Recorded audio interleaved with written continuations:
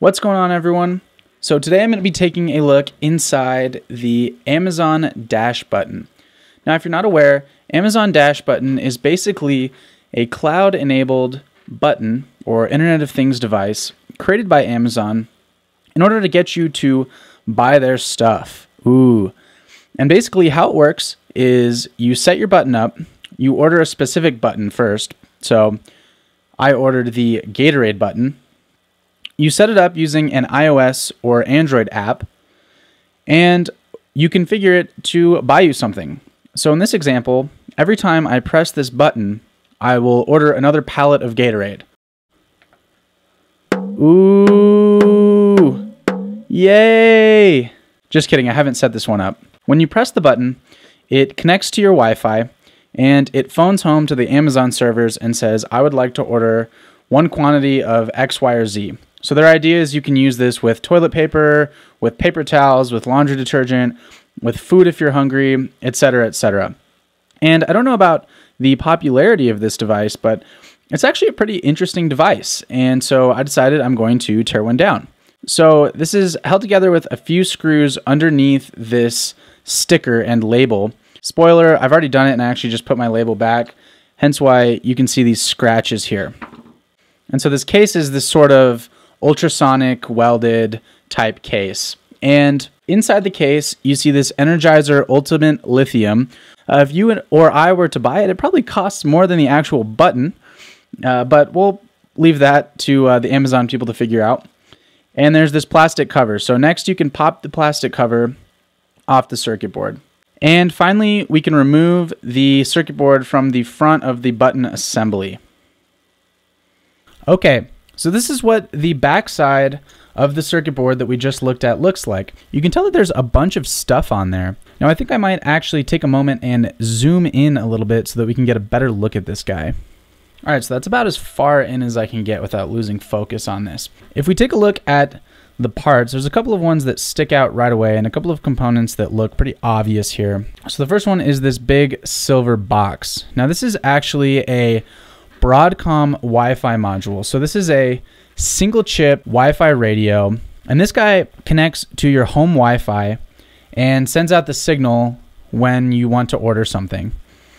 The main processor in here is going to be this STM32, so it's the shiny one here and it's catching a lot of glare from the camera, so I apologize. That's a STM32 F205 RG6, and it's a Cortex M3, 120 megahertz. It has a megabyte of flash memory, 128k of RAM, and there's actually an additional SPI flash, which is going to be the ST25VF something something something. That's 16 megabytes.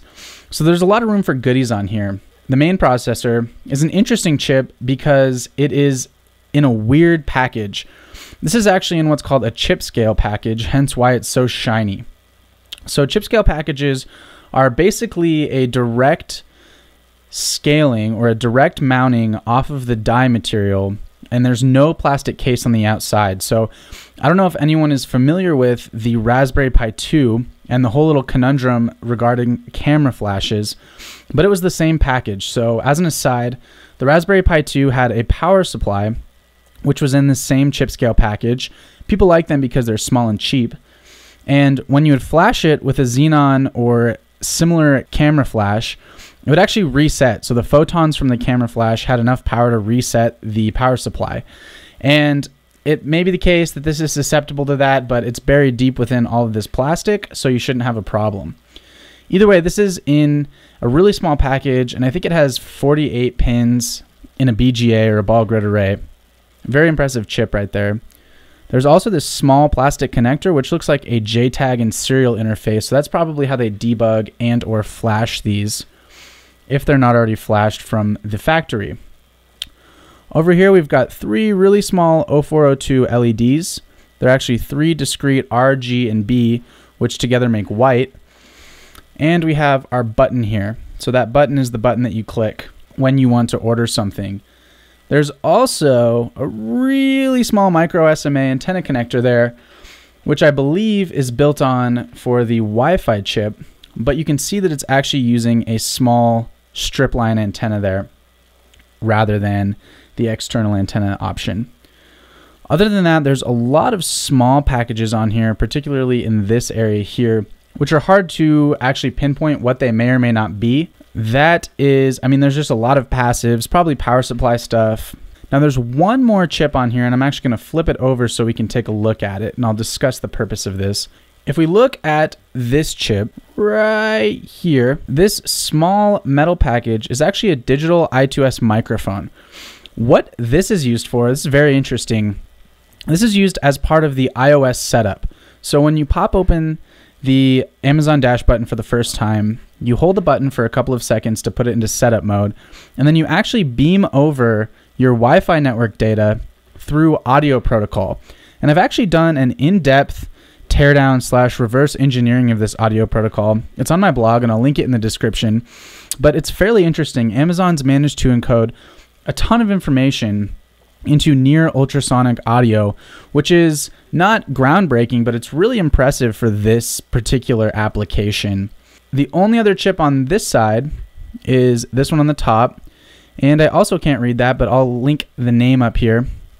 This chip appears to be a power supply. So this looks like a boost converter for the lithium battery. And in fact, you can see an inductor right there as well. So that's about all there is in this Amazon Dash But Now I say all there is, but really there's a ton of good stuff in here. And it's really actually a pretty impressive piece of technology for being crammed in such a small space. There's lithium batteries, there's Wi-Fi's, there's processor. To be honest, I'm not sure how big of a hit Amazon is taking on these, but I'm sure they're losing a fair amount of money on each board. I mean, I know the raw material cost is much more than $5. And so I think they're probably banking on the fact that they're going to be making some serious money due to people ordering through them. Now, I don't know if that's actually the case, but I could guess that that's their end game. Anyway, that concludes this quick teardown. I'll include all the data sheets. As always, leave me a comment or in, in the description if you like this video, drop a like and let me know what else you want me to take apart.